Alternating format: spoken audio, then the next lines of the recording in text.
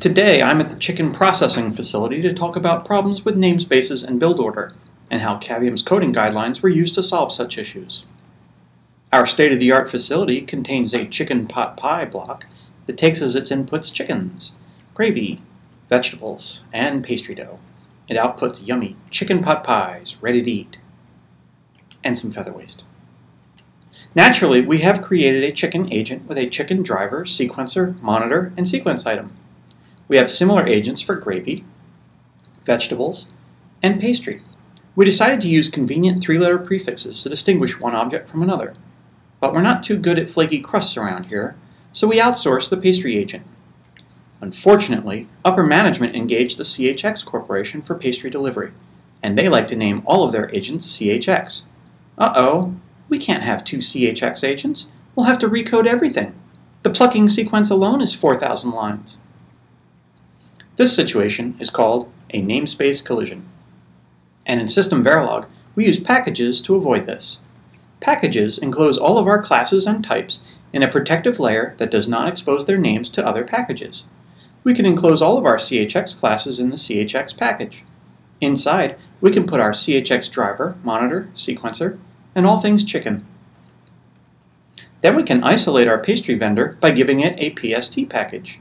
Now we will never have a namespace collision again, as long as we never do one thing. This is a bad idea. It is so egregiously bad that we have outlawed its use here at Cavium. More precisely, we only allow people to import one and only one package using this notation.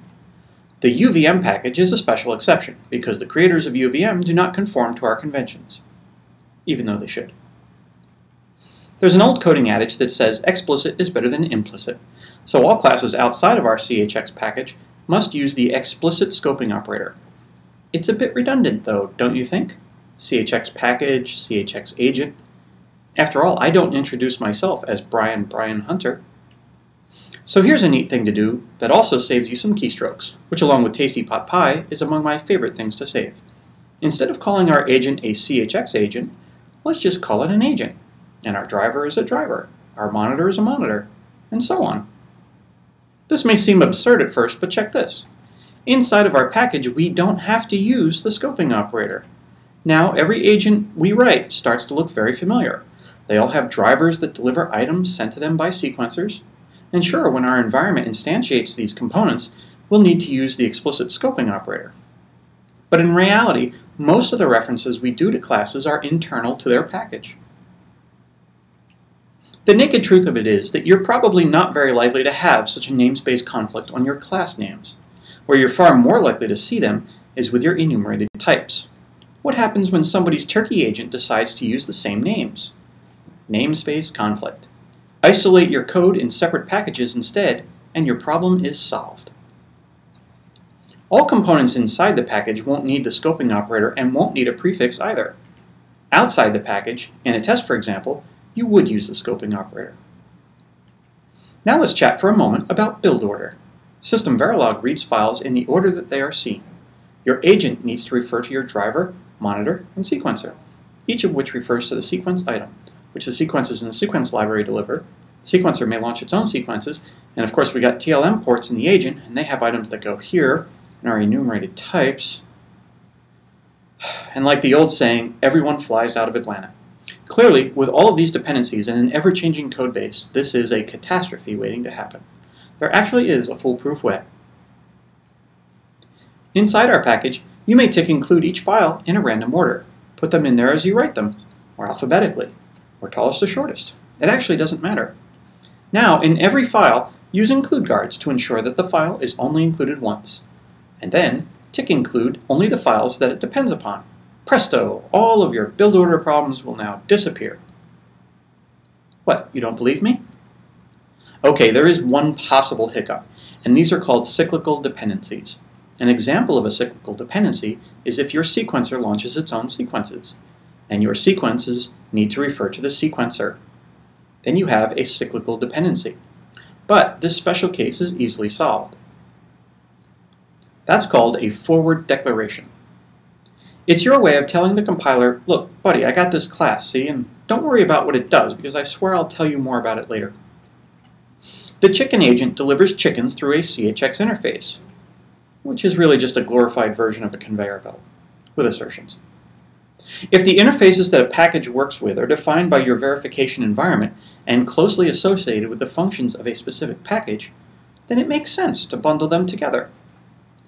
However, interfaces are actually tricky because you cannot define them in a package.